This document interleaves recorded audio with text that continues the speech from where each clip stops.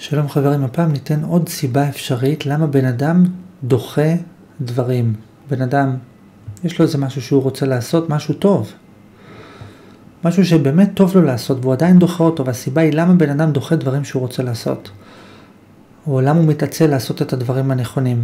ויש לזה הרבה מאוד סיבות ואני אתן עוד סיבה אפשרית למה אולי את, אתה, אתם דוחים משהו שאתם רוצים לעשות. והתשובה היא כי הרבה מאוד פעמים בן אדם כורך את הדבר שהוא רוצה לעשות עם דבר הרבה יותר גדול. לדוגמה, נגיד שבן אדם רוצה לעשות ספורט, אוקיי, ובמקום לעשות ספורט הוא כל הזמן מוצא את עצמו הולך לראות טלוויזיה. עכשיו הוא רוצה לעשות ספורט, הוא יכול לעשות ספורט, זה לא קשה לעשות ספורט, אבל הוא הולך לראות טלוויזיה, והשאלה היא למה. אז יכול להיות שבמוח של הבן אדם הוא כורך, הוא יוצר התניה בין לעשות ספורט לבין משהו יותר גדול. מה הכוונה לדוגמה? הוא אומר לעצמו במוח שלו, מה אני מעדיף? שימו לב, בן אדם עכשיו יש לו שתי אפשרויות, אחד לראות טלוויזיה, שתיים לעשות ספורט. אחד, לשרוף את הזמן באינטרנט, שתיים, ללכת לעבוד, לעשות משהו מועיל. הבן אדם נמצא בצומת. עכשיו, מאוד יכול להיות שאם הבן אדם היו לו שתי אפשרויות בלבד, או לשרוף את הזמן, או לעשות, את משהו, או לעשות משהו מועיל, או לדוגמה נגיד, או לראות טלוויזיה, או להתאמן, אז הוא היה עושה את הדבר הטוב. אבל הבן אדם כרך בראש שלו את הדבר החיובי עם דבר הרבה יותר גדול לדוגמה, במקום להתלבט בין האם אני רוצה לראות טלוויזיה או להתאמן, אז הבן אדם מתלבט בראש שלו, האם אני רוצה לראות טלוויזיה או להתחיל לחיות אורח חיים בריא ולעשות דיאטה ולשמור תזונה ולהתאמן כחלק מזה. אני מסביר שוב, יש בן אדם שעכשיו הוא עומד, יש לו שתי אפשרויות, אפשרות אחת זה לראות טלוויזיה, אפשרות שנייה להתאמן, זה שתי אפשרויות שלו.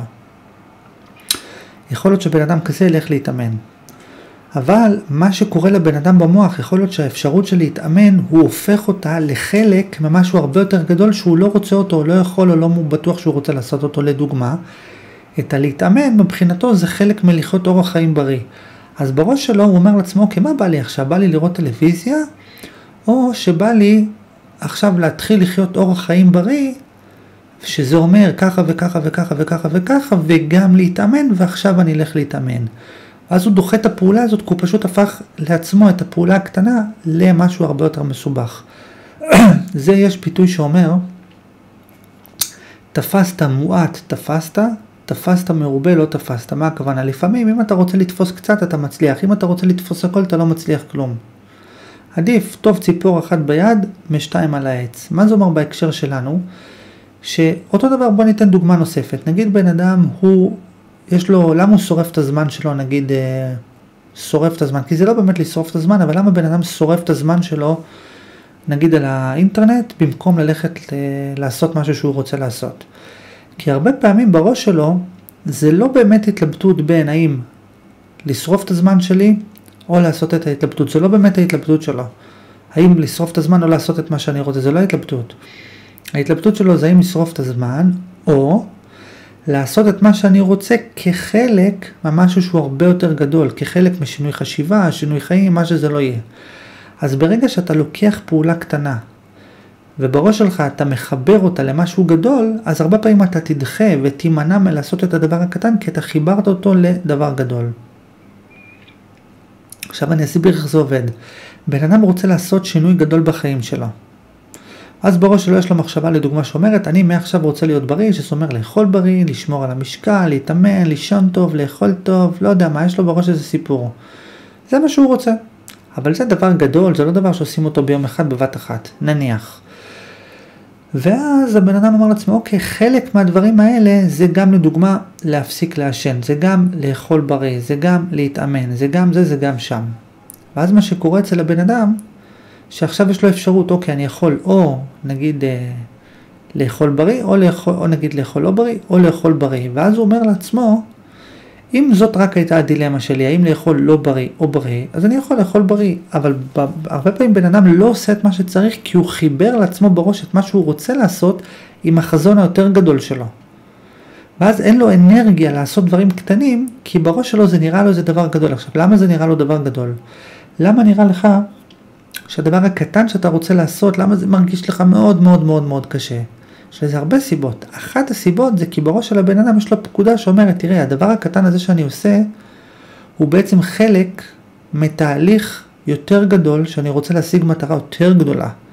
ומאחר שאתה, קשה לך להשיג את המטרה היותר גדולה, כי אתה לא בטוח, כי אתה לא יודע, כי זה יותר גדול, לכן אתה גם לא עושה את הדבר הקטן. מסקנה, בן אדם צריך למצוא בתוכו הדבר שאותו אתה דוחה, האם אתה רואה אותו כמשהו בפני עצמו, או שאתה רואה אותו כחלק ממשהו יותר גדול. כי אם אתה רואה אותו כחלק ממשהו יותר גדול, אז הרבה פעמים אתה דוחה את זה בגלל שזה חלק ממשהו יותר גדול, והפתרון זה לא לראות את זה כמשהו יותר גדול, להגיד גם קצת זה טוב, גם מעט זה טוב, גם קצת זה טוב, אני רוצה לעשות את זה, אני אעשה את זה, מה אכפת לי שזה חלק ממשהו יותר גדול. אדם יש לו משימות, והוא יכול לעשות כמה משימות והוא לא עושה אותן, למה? כי בראש שלו הוא אומר לעצמו, המשימות האלה הם בעצם חל, למה אני רוצה לעשות את זה? כי אני רוצה להיות יותר מסודר. אבל מבחינתו להיות מסודר זה משהו מאוד מאוד גדול, אז הוא אומר לעצמו, טוב, נו, אני עוד לא, עוד אין לי כוח להיות מסודר. ואז הוא לא עושה כלום כי לא היה כלום כי אין כלום. ולכן פרקטית חברים, ברגע שבן אדם דוחה משהו, מתעצל לעשות משהו, אין לו חשק לעשות משהו, משהו קטן נראה לו כמשהו גדול, מה שצריך לעשות פרקטית זה לשאול את עצמך האם אני רואה את זה, את מה שאני דוחה, האם אני רואה את זה כפעולה בודדת בפני עצמה, או שמבחינתי זה חלק מתהליך הרבה יותר גדול.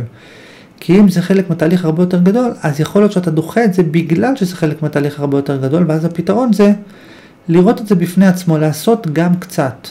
גם קצת זה טוב. זרוק את התהליך לפח, תתחיל לעשות פעולות בודדות. פעולה ועוד פעולה ועוד פעולה ועוד פעולה, אתה תגיע לתוצאה גדולה. אני אתן דוגמה נוספת. נגיד בן אדם, הוא רוצה להיות מיליונר, נניח. ונניח שהוא מבין שבשביל להיות מיליונר הוא צריך לחסוך כסף, נניח שזה נכון. או ניתן דוגמה נוספת, נגיד בן אדם נגיד רוצה לקנות רכב, ובשביל רכב הוא רוצה נגיד כסף, X, והוא מבין שהוא צריך לחסוך את הכסף הזה איכשהו, כי בשביל לקנות את הרכב אתה צריך לחסוך כסף. עכשיו הבן אדם מאוד רוצה את הרכב, מאוד רוצה לחסוך כסף, והוא יכול לחסוך כסף, הוא לא חוסך. למה הוא לא חוסך? למרות שהוא יכול לחסוך, הוא מבזבז את הכסף, למה? כי יכול להיות שבמוח שלו יש לו פקודה שאומרת לו, תראה, אה, או הכל או כלום, או שמעכשיו אני מתחיל לחסוך קבוע, ואני מתחיל זה, ומתחיל זה, ומתחיל זה, ומתחיל לחתוך, מתחיל זה, או לא חוסך כלום. כי מבחינתו הפעולה של לבזבז פחות כסף, או לחסוך 100 שקלים, או לחסוך לא יודע מה, הפעולה הזאת נחשבת לו כפעולה מאוד מאוד גדולה. למה? כי בראש שלו הוא רואה את זה כחלק מתהליך, הוא אומר לעצמו אם עכשיו אני מתחיל לחסוך את השקל הזה, אז זה בעצם חלק מאיזה סיפור מאוד מאוד גדול, והסיפור הגדול אין לי כוח, אז בוא לא נעשה כלום. לא היה כלום, כי אין כלום, אין לו מושג בכלום. ולכן הפתרון חברים זה מעט גם כן טוב, כל פעם קצת. זה הפתרון. ותחשבו על זה. מידע נוסף אפשר להיכנס לאתר לכתוב למה אני דוחה דברים, טיפול בדחיינות, איך לא לדחות דברים, משימות גדולות, משימות קטנות, תהליכים, מעט גם כן טוב, תפסת מרובה לא תפסת, פעולות קטנות, איך לא לדחות דברים, כל מה שעולה בדעתכם ולקבל מידע נוסף ושיהיה בהצלחה.